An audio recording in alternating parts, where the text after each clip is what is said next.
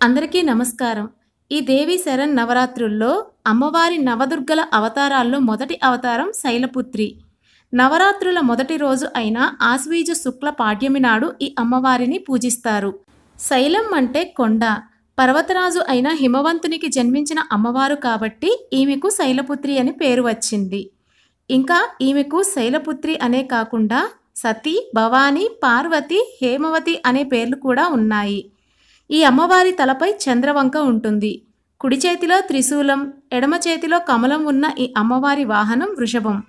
పేరులోనే కాక వాహనం ఆయుధంతో సహా సాక్షాత్తు పార్వతీదేవి అవతారమే శైలపుత్రి దుర్గా. మహిషాసురుని సంహరించేందుకు యుద్ధంలో మొదటి రోజు పరాశక్తి ఇలా పార్వతీదేవిగా వచ్చింది. కాబట్టే నవరాత్రుల మొదటి రోజు శైలపుత్రి దుర్గాదేవిని ఆరాధిస్తారు. ఋతుచక్రానికి అధిష్టాన దేవత శైలపుత్రీదేవి నందిపై కూర్చొని మూలాధార చక్రానికి తన ప్రయాణాన్ని ప్రారంభిస్తుంది ఈ అమ్మవారు. మూలాధార చక్రాన్ని జాగృతం చేస్తుంది ఈ అమ్మవారి ఉపాసన. అందుకే నవరాత్రి పూజలు చేసేవారు యోగులు ఈ అమ్మవారిని ఉపాసించి మూలాధార చక్రంపై దృష్టి కేంద్రీకరించి ధ్యానిస్తారు. ఈ మూలాధార చక్రాన్ని ధ్యానం చేయటం ఆధ్యాత్మిక మార్గంలో తొలిమెట్టుగా చెప్తుంటారు. ఇదే యోగ సాధనకు ప్రథమమైనది. శైలపుత్రీదేవి మూలాధార శక్తికి అధిష్టాన దేవత.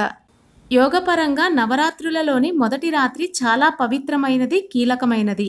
ఈ రాత్రి శైలపుత్రి దుర్గాదేవిని ధ్యానిస్తే ప్రకృతి స్వరూపిణి అయిన దుర్గాదేవిని చేరుకునేందుకు సులభంగా ఉంటుంది అని అంటారు.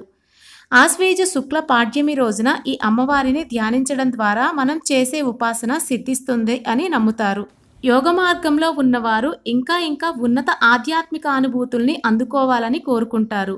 అలాంటప్పుడు మూలాధార చక్రానికి అధిష్టాన దేవతైన శైలపుత్రి దేవిని ఉపాసిస్తే స్వస్వరూప జ్ఞానం పొంది ఆధ్యాత్మికంగా ఉన్నత స్థానాలకు చేరుకోవచ్చు.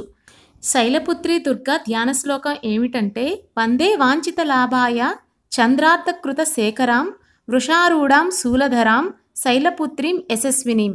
వృషభాన్ని అధిరోహించి కిరీటంలో చంద్రవంకను ధరించి యశస్సు కలిగి భక్తుల మన వాంఛలను తీర్చే మాత శైలపుత్రి దుర్గాదేవికి నా వందనం అర్పిస్తున్నాను అని శ్లోకానికి అర్థం.